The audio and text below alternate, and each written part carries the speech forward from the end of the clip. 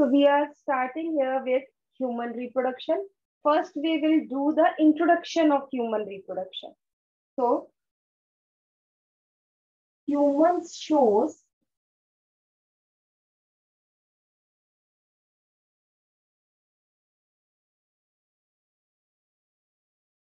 sexual reproduction. Humans are, you know, diploid, having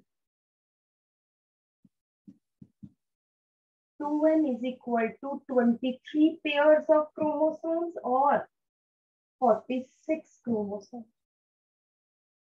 They are unisexual. Male and female separate. And so यहाँ पे हम dioecious monoecious term नहीं use करते animals में unisexual bisexual या bisexual को हम हर्माफ्रोडाइट भी कह देते हैं। But human are unisexual and show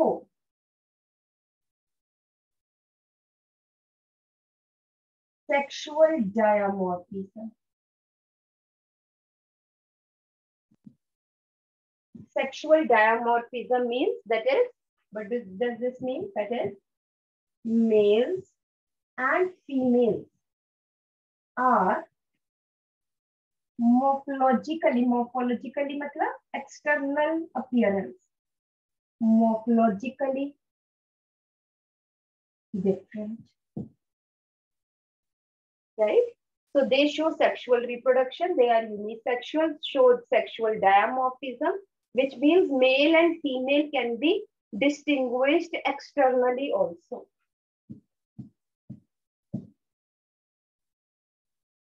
They have gonads or sex organs. Which are the sex organs? That is testes in males testis को हम बेटा ऑर्किस भी कहते हैं या ऑर्चिस another is ovaries in females right infants are जो छोटे बच्चे हैं, जब पैदा हुए डिस्टिंग्विश कैसे पता चलता है distinguish externally by their external genitalia जो रिप्रोडक्टिव सिस्टम का एक्सटर्नल पार्ट है that are genitalia which helps in you know passing of gametes from one to another So that are external genitalia. They are externally distinguished due to external genitalia. Fertilization.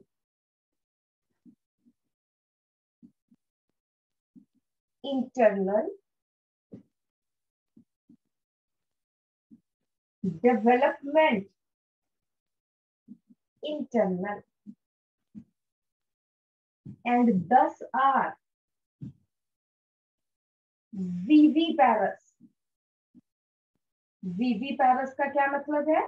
That is give birth to the young ones because fertilization internal है, development भी internal है. तो वो क्या? वो बच्चों को अंडे नहीं देते, बच्चों को जन्म देते हैं। So they are viviparous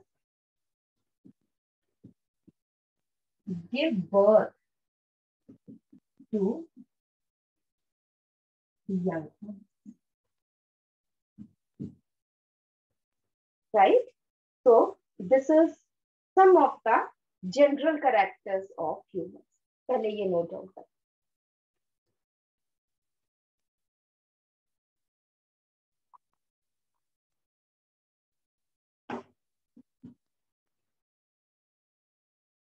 तो हम साइक्लिक फॉर्म में एक बार देखते हैं कि कैसे क्या हो रहा है, क्या नहीं हो रहा।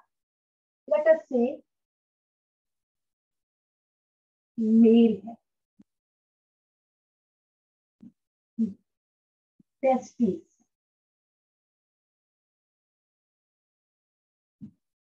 टेस्टिस में क्या बनाए? टेस्टिस में क्या है? फर्मेटोगोनिया ध्यान से देखना है।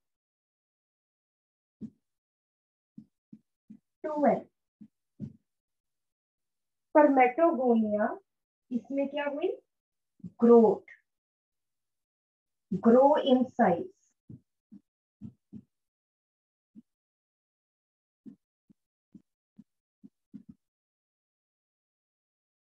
Primary spermatocyte अब आप मुझे बाद में बताओगे कि इन सब का फ्लोइडी लेवल क्या है। ध्यान से देखते रहना। प्राइमरी स्पर्मेटोसाइट में क्या हुई? Meiosis one it forms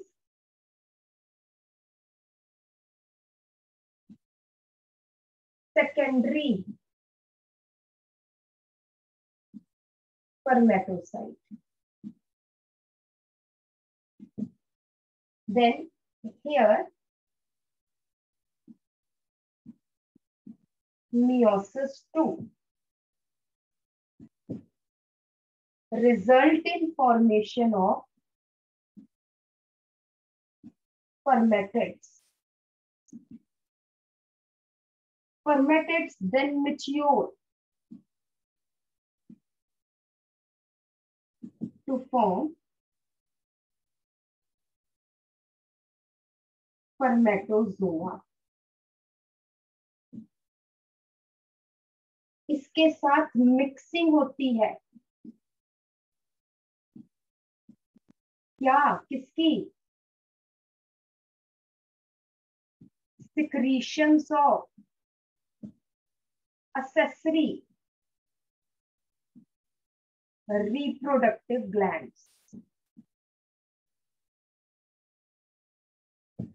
spermatozoa gets mixed with secretion और बहुत सारी ग्लैंड्स है। उनके साथ मिक्स होते हैं। Result in formation of semen right and it consist of about 300 million sperms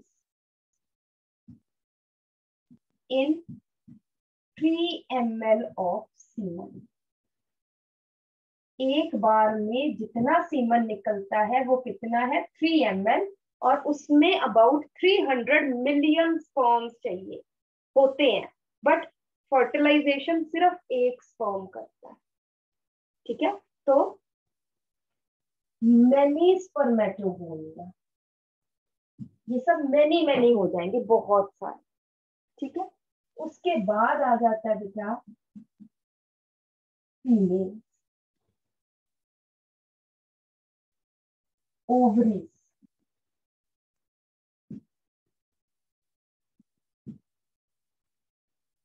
after puberty ये भी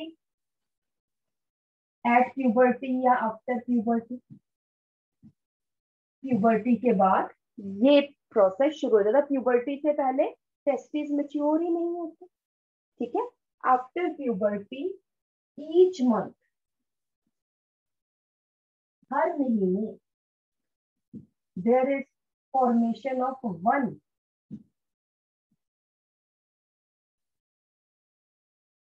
oogonia maturation to form primary oocyte which undergoes meiosis 1 to form secondary oocyte ठीक है? मैं एक जनरल बताती हूँ, बाकी डिटेलिंग हम बाद में करेंगे। Secondary oocyte undergoes meiosis two हम थोड़ा सा यहाँ पे मियोसिस देखो यहाँ पे था प्राइमरी स्पर्मेटोसाइट वन प्राइमरी अगर एक है तो form meiosis one to form two secondary spermato spermatocyte और फिर four spermatids तो अल्टीमेटली फोर स्पर्मेटेड्स बनेंगे। यहाँ पे प्राइमरी ओवोसाइट जो है one ootid plus three polar bodies जो बाद में डीजेनरेट हो जाती है।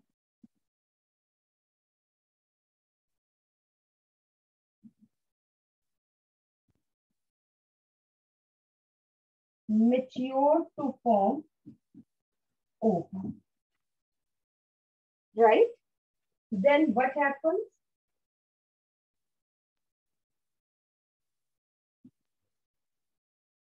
insemination. Insemination क्या होता है? Release of semen in the female reproductive tract release of semen in female reproductive tract is called as insemination या कॉप्युलेशन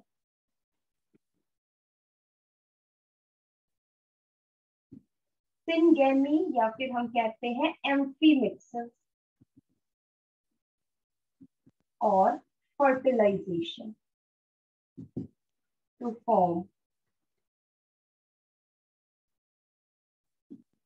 zygote zygote के बाद एक स्टेज बनती है बेटा।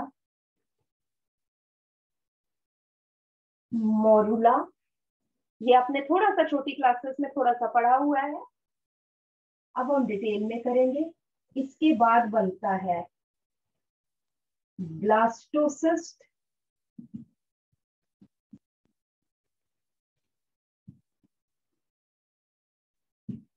गैस्ट्रुला।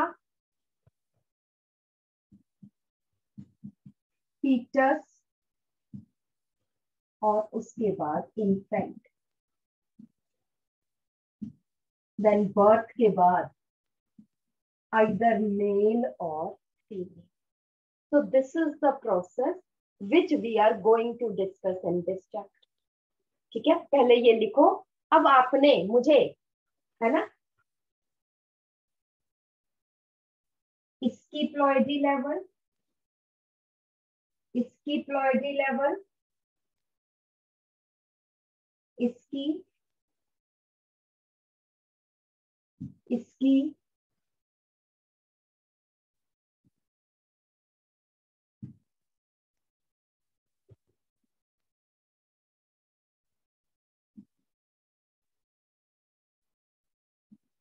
इनकी प्लॉयडी लेवल आपने मुझे बतानी है। आप लिखते भी चलो और प्लॉयडी लेवल, डबल पेज ले लो, ठीक है ना? और वहाँ पे फिर ये बनाओ ताकि आपको क्लैरिटी ठीक है? और फिर एक एक चीज़ हम इसकी डिस्कस करें।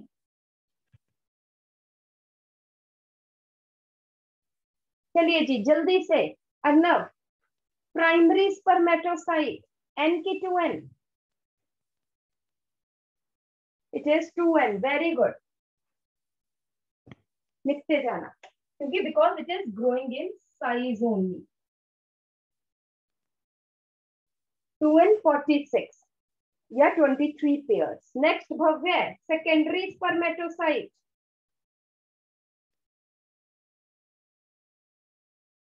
meiosis हाँ बोलो। एन बिल्कुल ठीक है। It is N next Hargun spermatids Ma'am, N. N, very good. Sargam, spermatozoa. Ma'am, N. N, very good. Shivanshi, morula. Ma'am, 2N. Very good. Arnav, gastrula.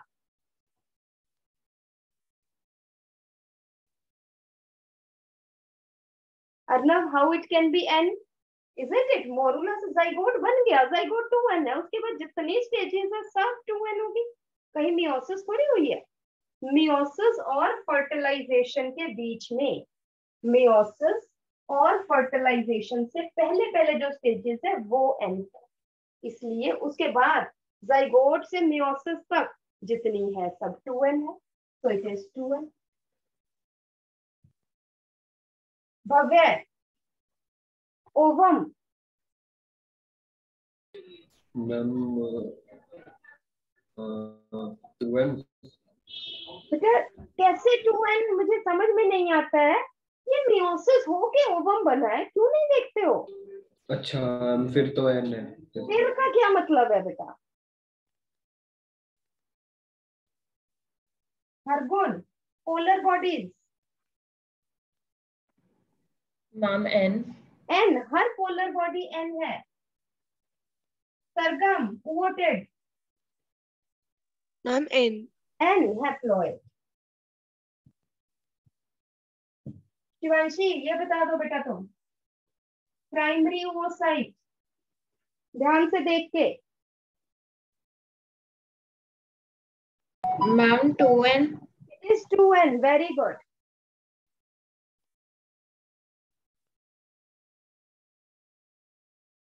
so, this is the ploidy level very good. कर दू मैं इसको सबने लिख लिया ठीक है चलिए ये प्लॉइडी लेवल्स पे लिख लिए सबने ओके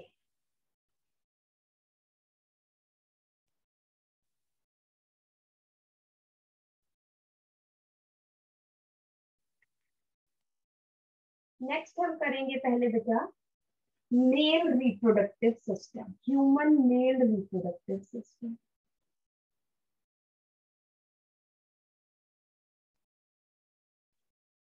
देखो, जो हम पहला डायग्राम बनाएँगे कि अगर हम यहाँ से इधर से काटें, ठीक है तो मेल रिप्रोडक्टिव सिस्टम कैसा नज़र आएगा? ठीक है, इधर से सेक्शनल व्यू है ऑन फ्रॉम द साइड ठीक है जी? तो अगर हम, देखो, अब सबसे पहले अगर हम काटेंगे तो पीछे वाली साइड वर्टिब्रल कॉलम नज़र आएगा। फिर कुछ डाइजेस्टिव सिस्टम का पार्ट नज़र आएगा। रेस्पिरेटरी तो यहीं खत्म हो गया। फिर आगे से थोड़ा सा एक्सक्रीटरी नज़र आएगा और फिर उसके बाद रिप्रोडक्टिव ध्यान से मेरी बात सुनो। सबसे पीछे क्या है हमारा वर्टिब्रल कॉलम वर्टिब्रल कॉलम के आगे लेयर्स देखो। सबसे पीछे ये है वर्टिब्रल कॉलम इससे आगे आएगा आपका डाइजेस्टिव सिस्टम ठीक है? डाइजेस्टिव सिस्टम ऊपर आ जाएगा रेस्पिरेटरी सिस्टम और नीचे आ जाएगा आपका एक्सक्रीटरी सिस्टम और फिर उसके अंदर आ जाएगा आपका रिप्रोडक्टिव सिस्टम ठीक है? रिप्रोडक्टिव और एक्सक्रीटरी तकरीबन इकट्ठे ही होते हैं। ठीक है? तभी हम यूरिनोजेनिटल सिस्टम हम कहते हैं। राइट तो अब हम देखते हैं अभी कैसा नज़र आएगा। तो ये है, ध्यान से, पहले ध्यान से देखना। फिर हम दिस इज़ टेस्टिस टेस्टिस के बाहर ये इससे चिपका हुआ ही है। दिस इज़ एपिडिडिमस आप सुनते चलो, फिर मैं लेबलिंग सारी करूँगी। ये टेस्टिस ये वाला जो पोर्शन है दिस इज़ एपिडिडिमस एपिडिडिमस से एक ये डक्ट निकली। ये डक्ट ऊपर को जा रही है। यहाँ गई। This is called as vas deferens या vasa differentia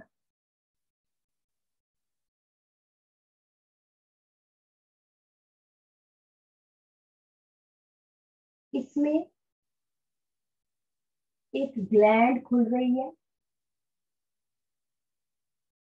this is seminal vesicle जैसे मैंने कहा था accessory reproductive gland so one of the gland is that is seminal vesicle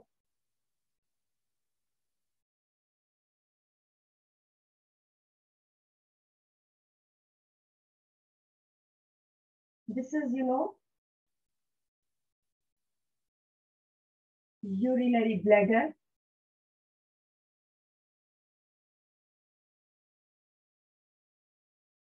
And this is urethra urethra को कवर किया हुआ है एक और ग्लैंड में दैट इज़ प्रोस्टेट ग्लैंड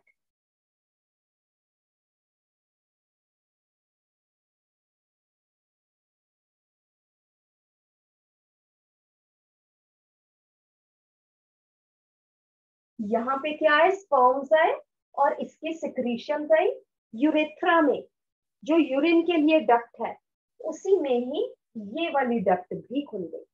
और इसमें और इस डक्ट में और क्या खुलता है? ये प्रोस्टेट ग्लैंड है, इसकी भी डक्ट इसमें खुलती है। तो यूरेथ्रा में क्या क्या चीज़ें आई?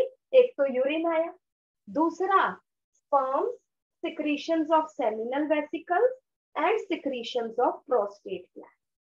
Then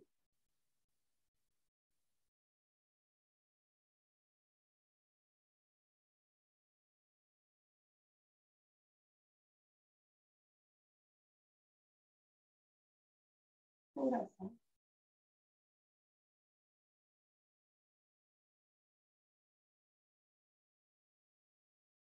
यहाँ पे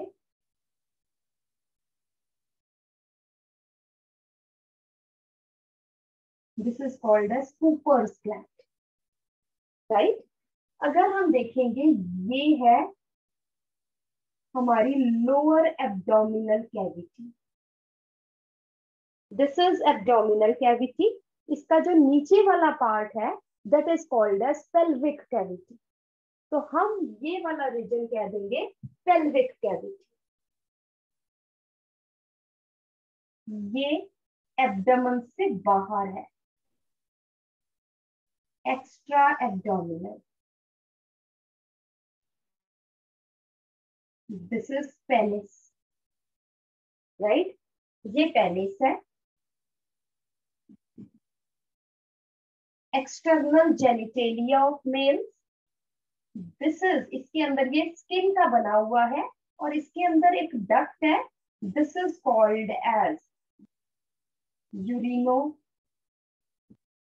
urinogenital duct ये इसका अपर्चर है.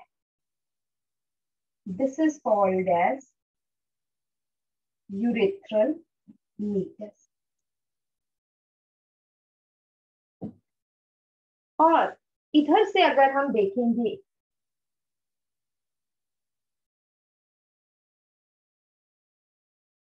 तो यहाँ पे मैं बहुत ज़्यादा तो नहीं बना रही हूँ।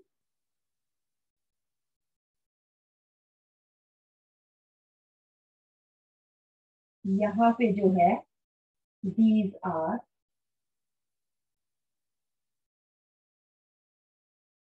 वर्टिब्रा ये वर्टिब्रल कॉलम है राइट यहाँ से इसके आगे क्या बताया था? मैंने बताया था आपको। यहाँ पे। This is rectum and here there is anus. Is it right और यहाँ पे, you know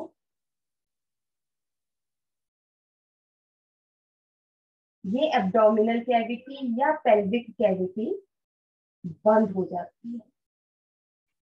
इसका मतलब ये जो रीजन है, ये कहाँ पे है? This is extra abdominal region right अब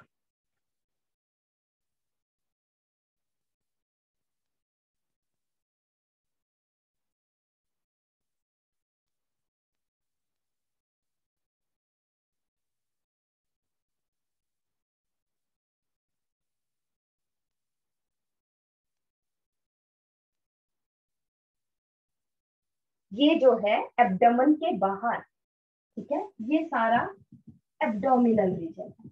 ये सारा।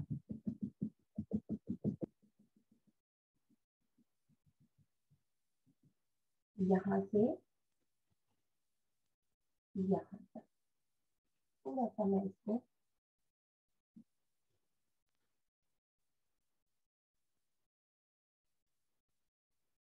ये पीछे वाली साइड चला जाता है एनस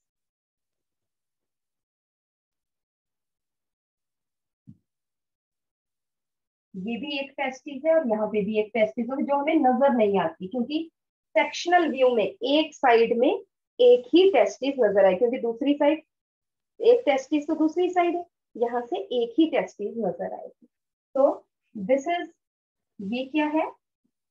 ये है क्रोटल सैक एक थैली है जिसमें, जिसको हम कहते हैं स्क्रोटम उसके दो चैम्बर्स हैं उसको बोलते हैं स्क्रोटल सैक जिसके अंदर क्या पड़ी है? टेस्टिस टेस्टिस के बाहर ये क्या है? एपिडिडिमस एपिडिडिमस से ये डक्ट निकल रही है। वास डेफरेंस ये एक्स्ट्रा एब्डोमिनल कैविटी है। ये वास डेफरेंस एब्डोमिनल कैविटी के अंदर एंटर करके किससे ज्वाइन कर रही है? सेमिनल वेसिकल दिस इज़ अब इसको क्या बोल दिया? सेमिनल वेसिकल की डक्ट और वास डेफरेंस जुड़ के इन्होंने क्या बना दिया? This is ejaculatory duct urinary bladder आपने पूरा लिखना है यूबी नहीं लिख देना urinary bladder urethra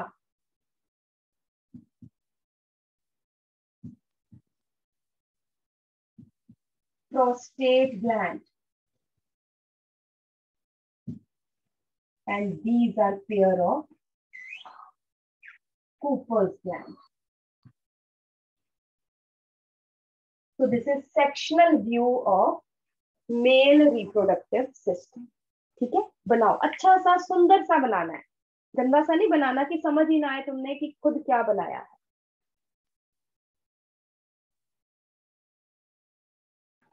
मम्मी जो साइड व्यू है इसको क्या कहते हैं? साइड व्यू या sectional side view sectional side view of male reproductive system next हम आ जाते हैं। Diagrammatic front view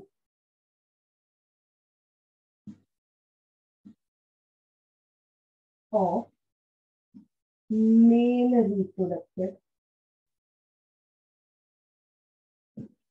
system.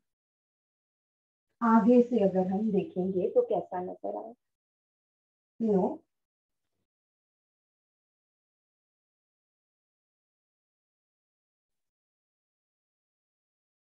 this is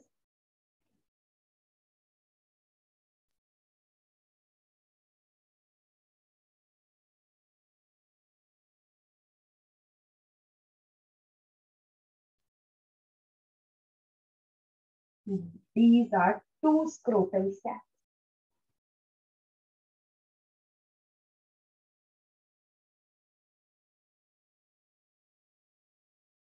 ये testis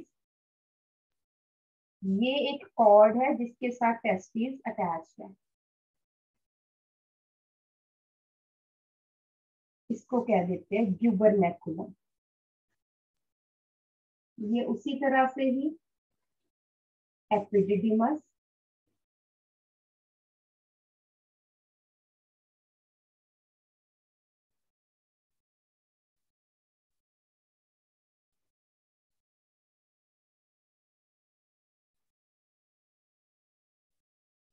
This is vast difference.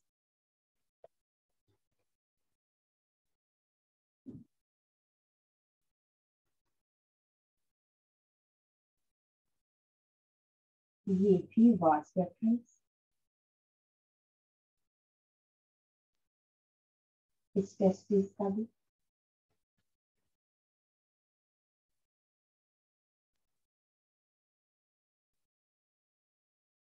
ये गई एब्डोमिनल कैविटी में देखो, वास रेफरेंस जो है, वो एब्डोमिनल कैविटी में चले गए। और यहाँ पे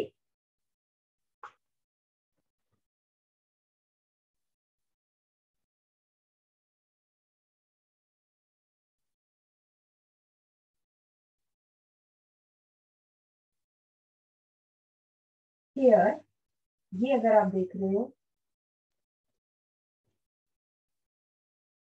दिस इज़ सेमिनल वेसिकल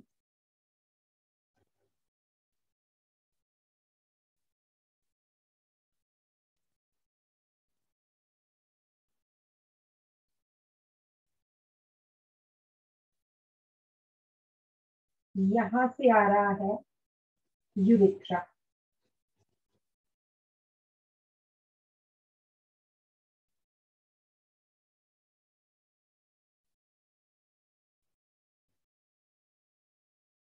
ये इजैक्यूलेटरी डक्ट यूरेथ्रा में खुल गई। और इसके दोनों साइड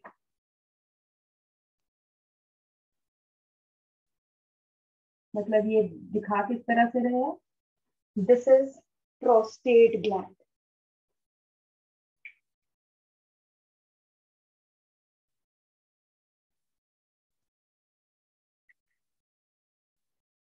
यहाँ पे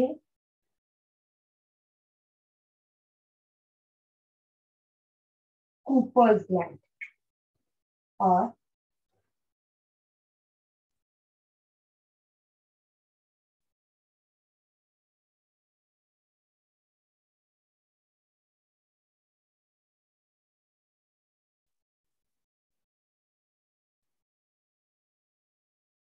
this is penis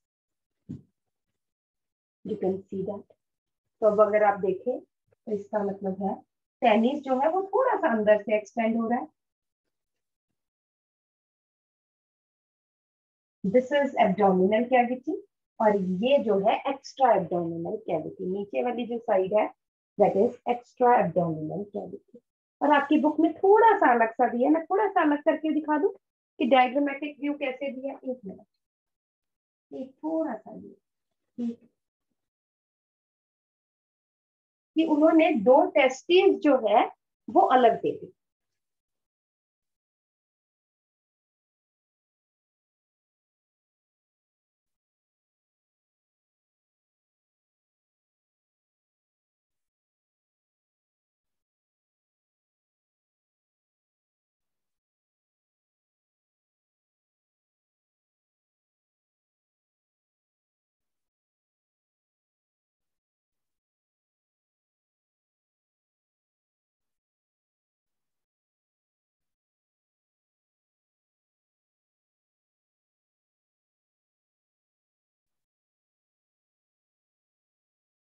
अलग से करके दिखा दी है, बाकी तो होती तो ये इकट्ठी ही है। एंड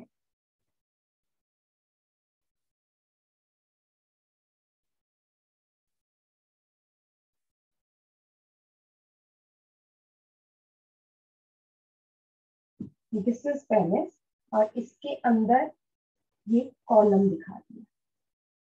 ये जब हम करेंगे तो आपको पता चलेगा।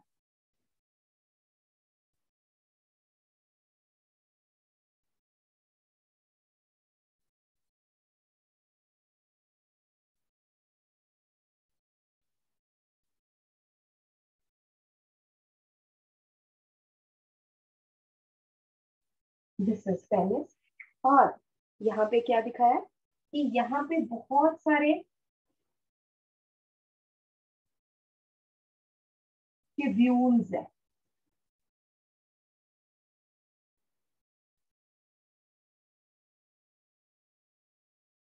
जो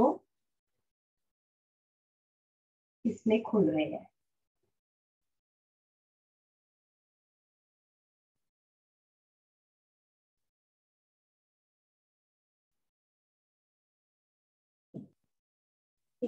इस तरह से। अगेन यहाँ पे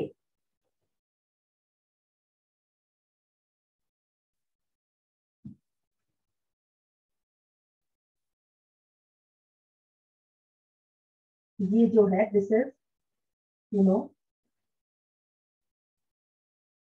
urinary bladder right urinary bladder से ये यूरिथ्रा राइज हो रहा है।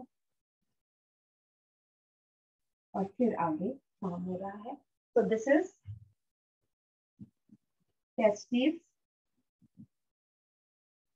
epididymis vas ये क्या है? अंदर से ये क्या निकल रहा है? दिस इज़ वासा इफ्रेंशिया ये seminal vesicles prostate gland, Cooper's gland,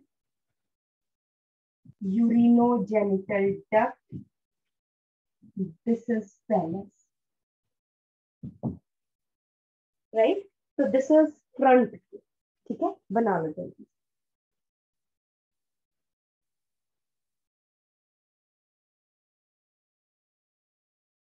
सारी लेबलिंग अच्छी तरह से कर लेना बेटा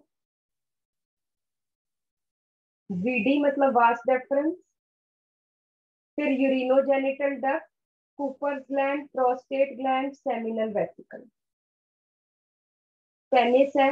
पेनिस का नीचे वाला पार्ट जो है फोर स्किन है और उसका जो अपर्चर है that is called as urethral meatus तो अब हम आ जाते हैं थ्योरी पार्ट पे. ये थोड़े से डायग्राम्स अभी डायग्राम्स और भी बहुत है. ठीक है?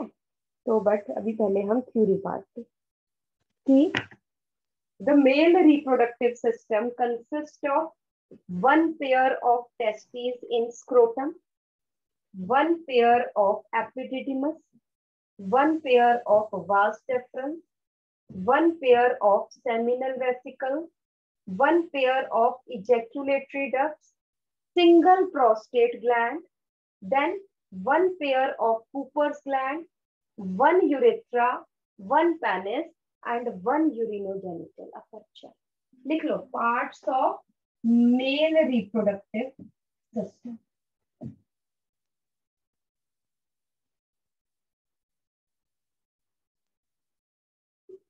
Next जो है हम पहली बात आ जाते हैं बेटा testis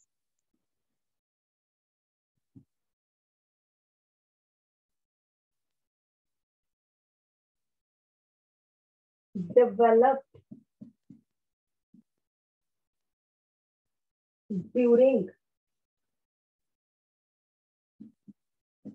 fifth month of male embryo या male fetus. In its कहाँ पे? In its एब्डोमिनल कैविटी जो मेल फीटस है, उसकी एब्डोमिनल कैविटी में ही टेस्टिस डेवलप होती है, अंदर ही डेवलप होती है फिफ्थ मंथ में. देन डिसेंड डिसेंड मतलब नीचे आना descend into scrotum extra abdominal pouch like structure.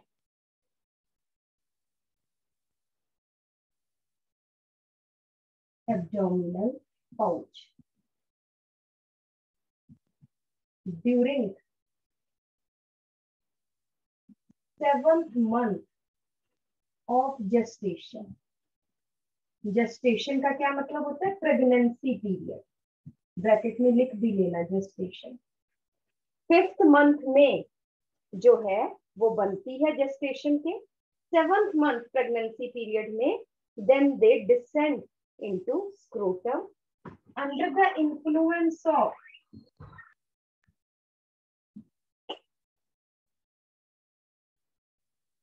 under the influence of male sex hormone testosterone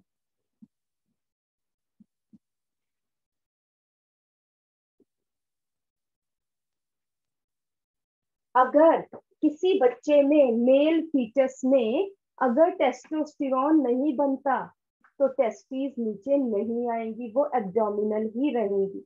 And it causes the disease cryptorchidism but अगर हम बात ये करते हैं कि टेस्टिस आई क्यों, क्या ज़रूरत थी तो हम क्या कहेंगे कि जो स्क्रोटम है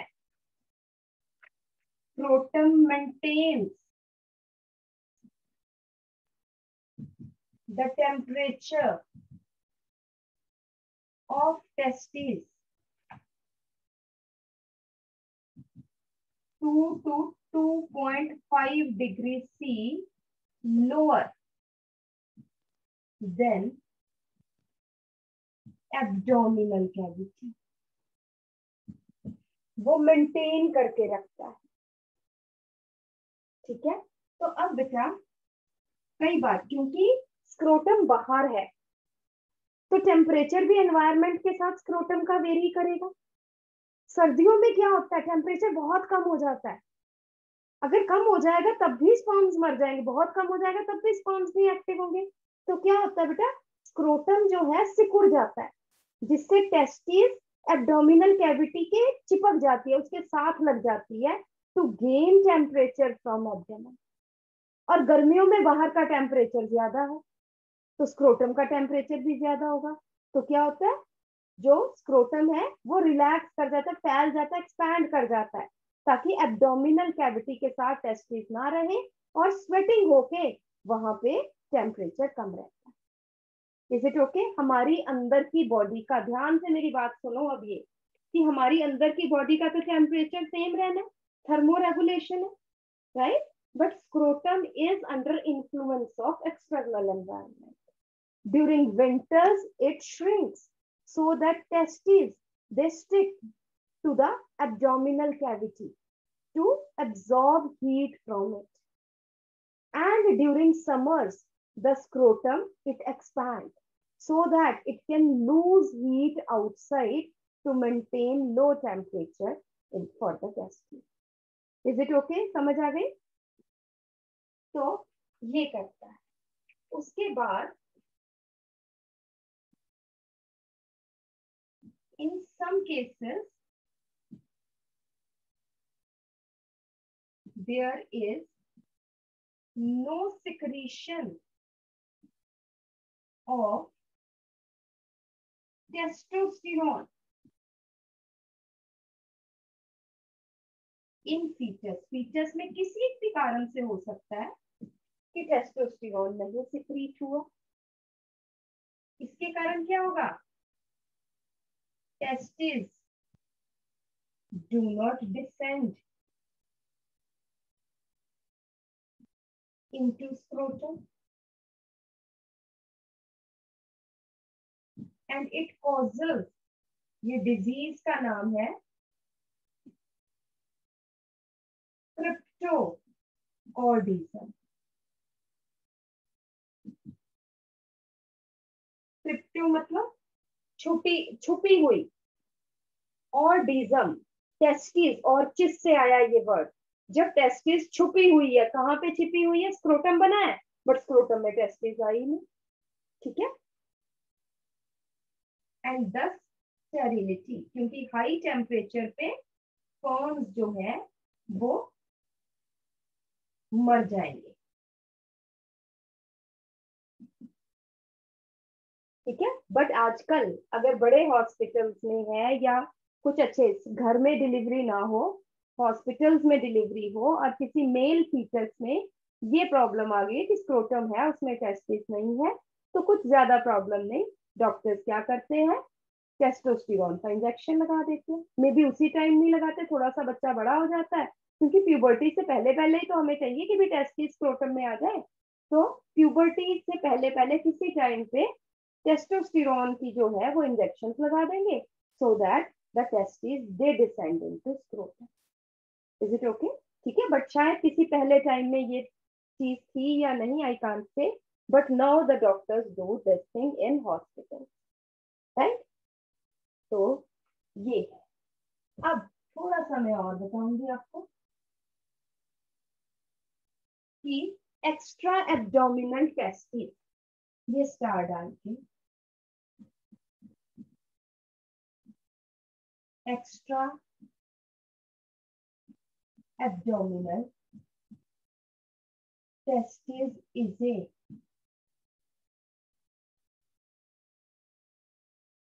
mammalian feature. But exceptions are there.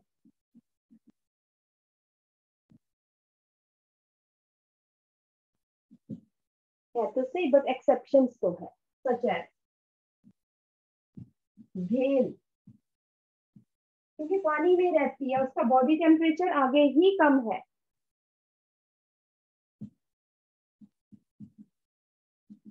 Intra abdominal testis इनके अंदर ही टेस्टिस है। ज़रूरत ही नहीं है बाहर आने की because their body temperature is low elephant. Again इसका भी टेम्परेचर कम है, आप रीजन खुद लिख सकते हो because of low metabolism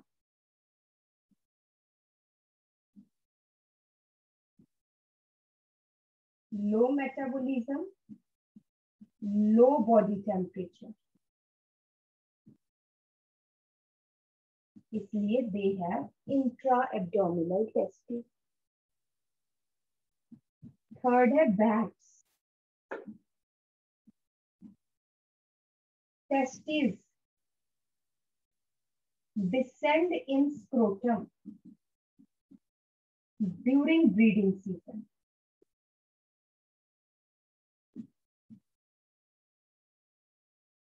Breeding season में टेस्टिस स्क्रोटम में आ जाती है। ब्रीडिंग सीज़न खत्म हो जाता है टेस्टिस फिर असेंड करके एब्डोमिनल कैविटी में चले जाते इज़ इट ओके ठीक है? तो ये मैंने आपको बताया अभी कि टेस्टिस एक्स्ट्रा एब्डोमिनल क्यों है? और अगर टेस्टिस एब्डोमन में रह जाए, तब क्या प्रॉब्लम है? ठीक है? लिखो सर तो बेटा, आज हम इस चैप्टर के बारे में इतना करेंगे और अभी हम जो है that we will do reason assertion of the previous chapter ठीक है जी? वो हम शेयर करते हैं, इसका हम नेक्स्ट लेक्चर में बाकी का करेंगे।